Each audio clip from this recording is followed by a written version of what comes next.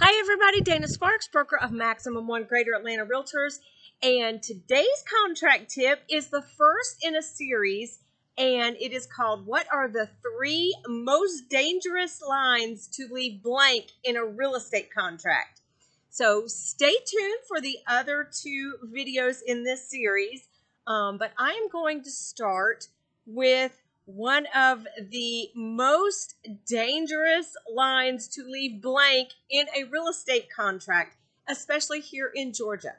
Uh, we are in the hyper competitive real estate market in uh, April and May of 2022, where there are more buyers on the market than there is inventory or properties for them to buy.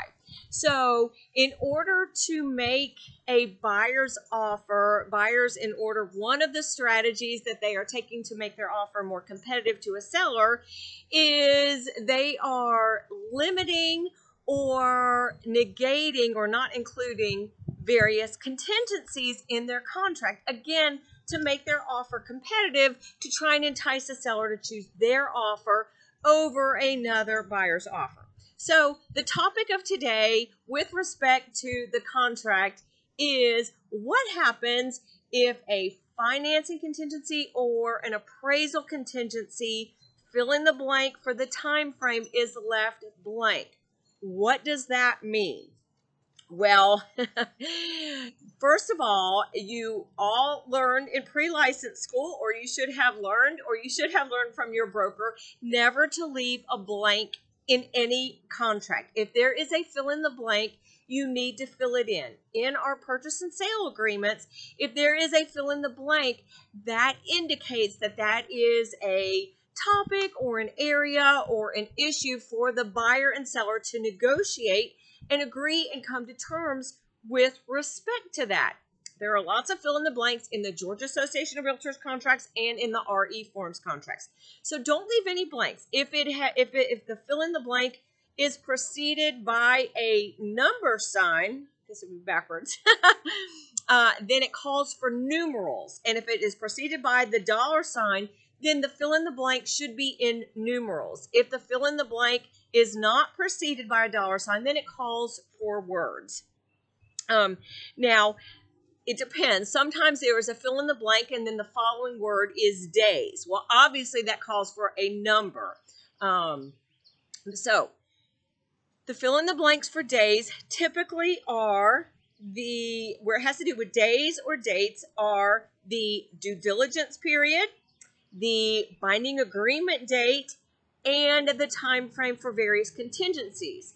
Those are the three most dangerous fill in the blanks to leave blank in a contract. So today's topic is the has to do with the financing and appraisal contingency in a uh, uh, purchase and sale agreement where a buyer is getting financing. So what does it mean if you don't fill in the blank?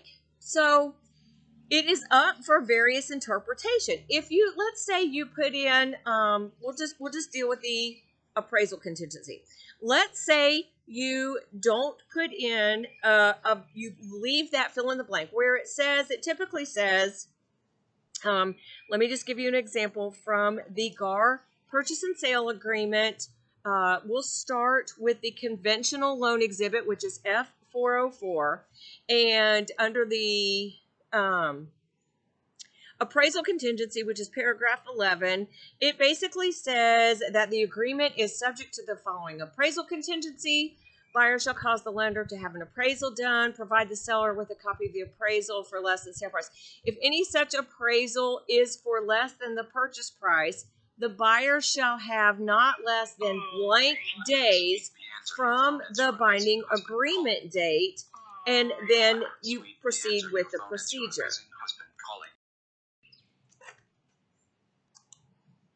And let's take a look at the financing contingency in the loan exhibits. In the financing contingency, paragraph 5, again, in the Georgia Association of Realtors conventional loan exhibit, states buyer shall have blank number of days from the binding agreement date to determine if a buyer has the ability to obtain the loan described above, so forth and so on.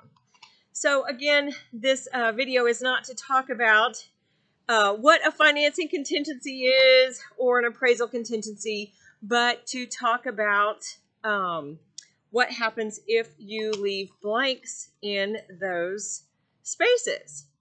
So, what happens if you leave those time frames blank for an appraisal or a financing contingency? Does that mean that the contingency time frame is zero days? Or does that mean that the contingency time frame runs through the entire contract or any extension thereof? That's the question. And why is this an issue? This is an issue because if a buyer terminates a contract based on, in this example, the financing or the appraisal contingency, what's the time frame of that? Who's entitled to the earnest money? Is the buyer defaulting on the contract or is the buyer entitled to their earnest money back? Are the, is the buyer getting, will they get to retain their earnest money? Are they losing the earnest money to the seller as liquidated damages for a default? Is it a default? Well, bottom line is do not leave any blanks. And Georgia Statute of Frauds which is OCGA, which is the official code Georgia annotated, which is where all of our laws are, in Title 13, Chapter 5, Article 2, which is the statute of frauds, um, specifically 13 5 30. Uh, specifically states that agreements must be in writing. And it goes on to describe agreements, for example, for a marriage contract, agreements less than a year, so forth and so on. But one of them has to do uh, that it re- uh, that it requires that every essential element for a contract for the transfer of title for real property must be in writing. Well, a time frame for a contingency, specifically a financing contingency or an appraisal contingency, absolutely can be argued as an essential element of that real estate contract. Now, if a contract fails to close, and uh, there is a termination release, and the parties do not agree on the release of the earnest money. And the reason for the termination is one of these contingencies where the time frame is left blank. If it is a loan, which should be a loan for financing contingency, then one of the options is for the broker to interpret the contract or interplead it to a court. Well, there are various ways a broker may interpret that time frame. Um, was it meant to be zero days or was it meant to go through the end of the contract? And there can be a very uh, pretty substantiated argument made either way. Uh, on one hand, the argument can be made, well, yes, it meant to be it was meant to be zero days. Look at the climate, look at the competitive nature of the market right now, and the buyer uh, uh, uh left left it blank, meaning they were zero days for those financing or appraisal contingencies in order to get the seller to be competitive so the seller would take theirs. The other interpretation is, well, of course I'm not going to go into a contract with zero contingencies. Yes, it is competitive, but I still need to protect my interest and my money. So I'm not going in with zero days contingencies.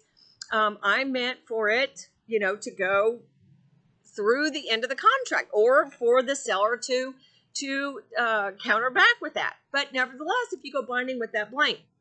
Now, the other way to uh, another pretty substantiated argument that if a time frame is left blank, it does run through the entire course of the time frame of the contract, meaning that that contingency, the buyer would be protected based on that contingency through day of closing or any extension thereof. Well, why, Dana? Why why do you say that? How on earth are you getting that?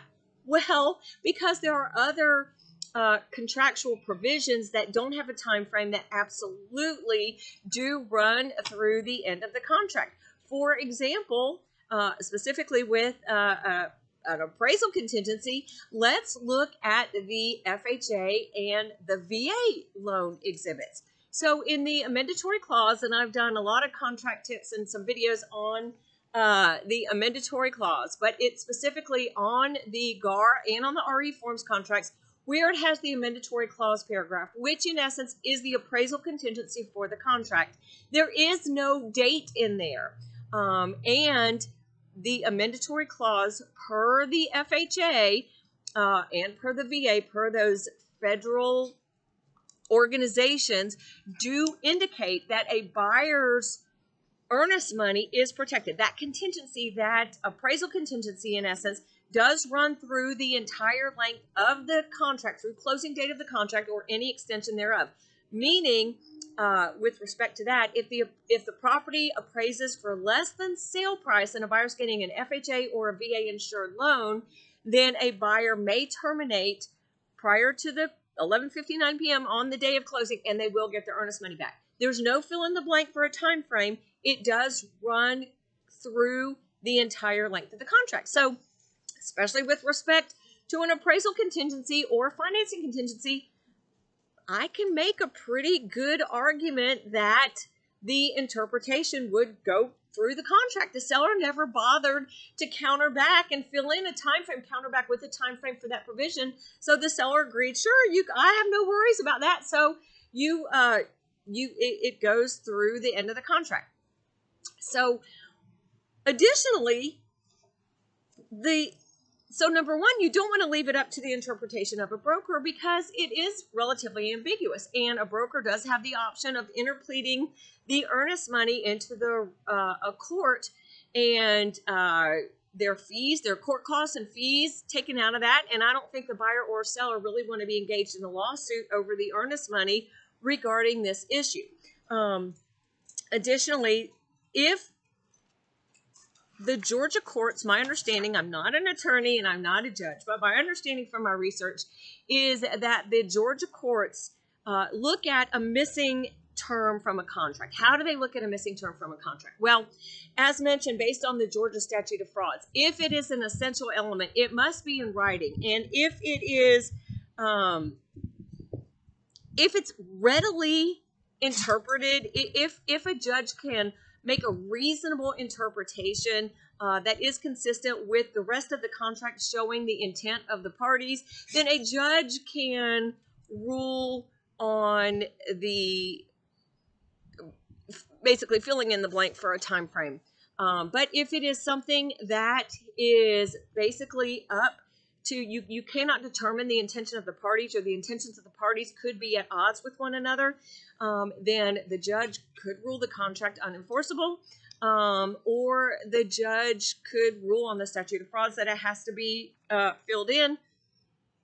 So we don't know what what specifically would happen um, but in essence the court will my understanding is the georgia courts will not enforce a contract uh, where an essential term is left blank and it cannot be uh, a judge cannot make a reasonable interpretation of the intent of the parties because they are uh, at odds for one another. So, what do you do as a real estate agent?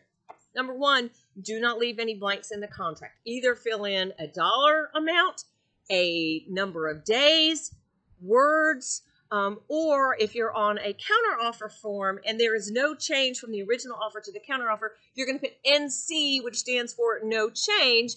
Or if it is something that is not applicable to the contract, then you'll put NA for not applicable. Um, so you absolutely want to make sure of that. You working with your clients, you definitely want to have a conversation regarding the time frames and uh, especially for an appraisal or a financing contingency. Do they want zero days? Or do they want a certain number of days? If you are on the receiving end of a contract, if you are the seller and you are receiving an offer, or if you are receiving a counter offer for the buyer, um, do not accept a contract with the number of days blank. Make a counter offer back to the, the buyer, filling in that time frame. Again, the the way that the Georgia Association of Realtors contracts and the RE Forms contracts are presented to real estate agents to complete on behalf of their buyers and sellers with the fill in the blanks. If it is a blank, it definitely does communicate that that is a term for the parties to negotiate. Whew. So don't leave earnest money up for grabs. Um, that is not uh, that's not a great way to have a client relationship with either the buyer side or the seller side. Um, and don't leave a an essential term of the contract open for interpretation by the holder of the earnest money or by an attorney or a judge. Hope this contract tip helped you out. Stay tuned for the uh, for an explanation on the other two most dangerous blanks. Fill in the blanks to leave blank uh, in a contract, and we're going to have a discussion on the binding agreement date. That's the another dangerous one, as well as the due diligence period. Thank you guys so much for watching. Dana Sparks, broker of Maximum One Greater Atlanta Realtors, satisfying your needs with service, innovation, and education.